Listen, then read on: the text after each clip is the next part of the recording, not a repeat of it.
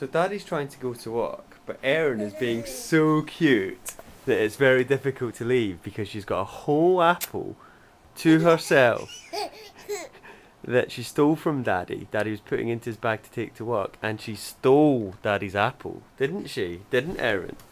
Didn't you steal my apple? Yes, you did. Oh, apple. Mmm, apple.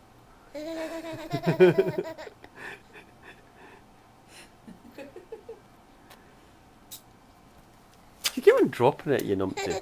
There you go. You got it? what are you doing?